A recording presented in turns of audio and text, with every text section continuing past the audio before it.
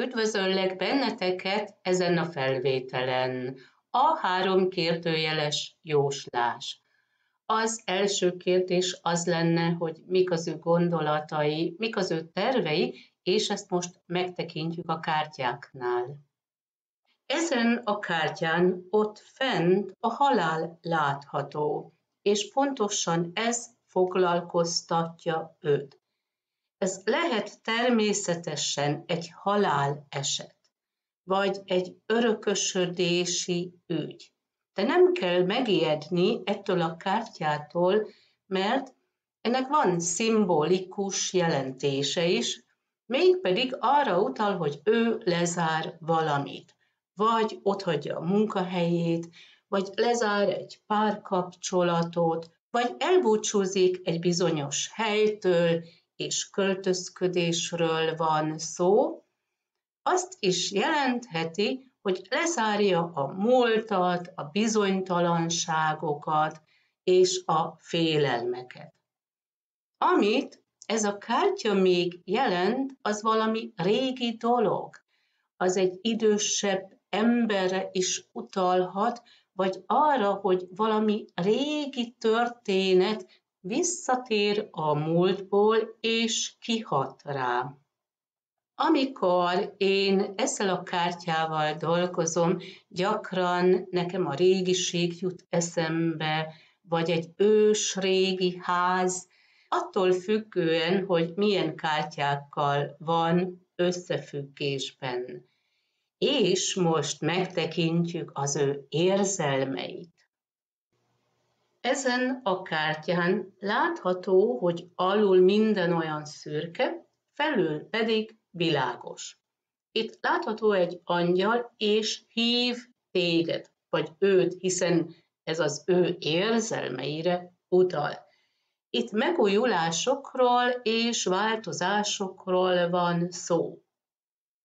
Én úgy szoktam mondani, hogy vannak negatív érzelmek, mint például félelmek, vagy bizonytalanságok, lehet néha irítség, vagy féltékenység is, és pontosan erre utal az alul látható szürke szín.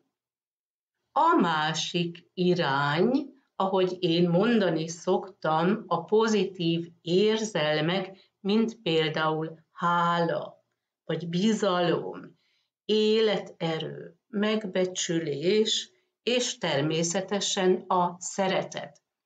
Ezeknek az érzelmeknek van egy forrása, mégpedig az isteni forrás. És ez történik nála, ő benne van ebben a transformációban, elbúcsúzik a bizonytalanságoktól, a félelmektől, és megvan nála most a bizalom, az életerő, hogy minden jóra fordul. És most megtekintjük a következő kártyát, mit közöl veled.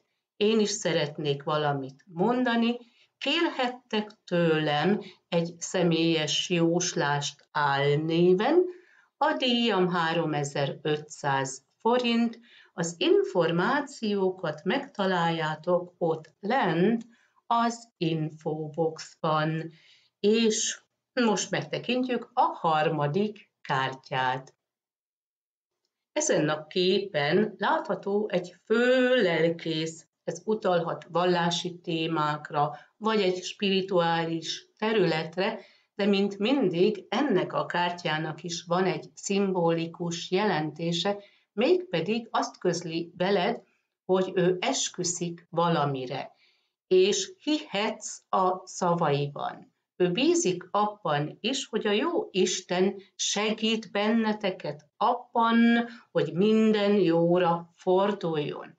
De előfordulhat az is, hogy megvannak az elvárásai, és szeretné azt, ha te kimutatnád a hitedet, hogy te hiszel benne, te hiszel ebben a párkapcsolatban, te hiszel ebben a szerelemben, és természetesen ebben az isteni segítségben is. A következő kártya utal a megoldásra.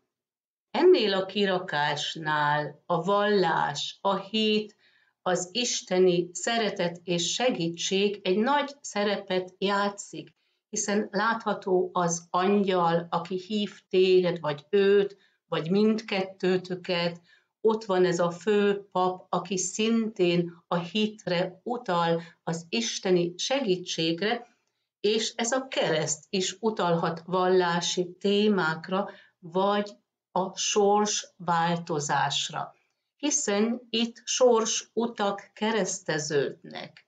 Tehát ez a találkozás kettőtök között nem volt véletlen.